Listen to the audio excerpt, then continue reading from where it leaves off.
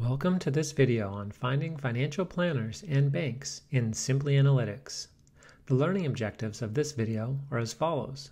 That you can find businesses in Simply Analytics using keywords and NAICS codes. That you can export the contact information into an Excel spreadsheet. If you start your research at Google, start by typing in Humber Libraries. And then click on the link to go to the library. Type Financial Services and Planning into the Discover search box and press the Find button. In the search results, click the link to Financial Planning and Services by Caleb Domsey. The links to the databases in this research guide have special code in them that authenticates you as a Humber student. These databases require a paid subscription and can only be accessed by these special links. Click on the link to Simply Analytics. Click the Sign in as Guest option then press the Sign In button. To skip the tour, click the X. Start with the location in which you would like to look for businesses. For example, type in Brampton. Then click the location from the suggested options. Then press the Next button. Some default data variables are suggested. There is no need to change them, so press the Create Project button. To search for businesses, click on the Businesses icon.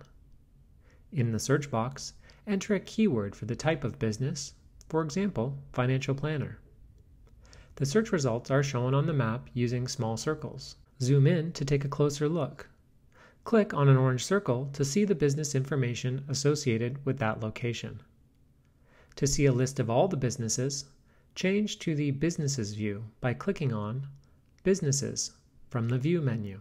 My keyword search only generated a list of TD financial planners, but I know there are more businesses out there. So now I'm going to use the advanced search to search by NAICS code.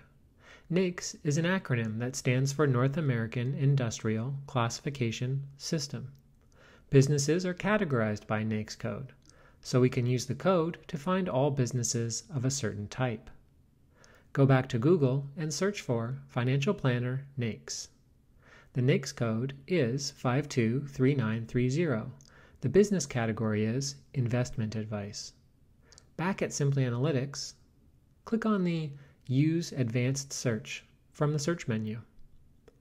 Change the first drop-down menu option to NAICS, and then type the code into the empty box. Then press the search button. The same search can be done for banking. The NAICS code for commercial banking is 522110. Use the advanced search to enter the code. To save the list of businesses to your computer, press the Export button. The default options will save an Excel file to your computer. Press the Export button and then press Save. When finished, sign out of Simply Analytics by clicking on Guest and then clicking Sign Out. Thanks for watching this video on finding financial planners and banks in Simply Analytics.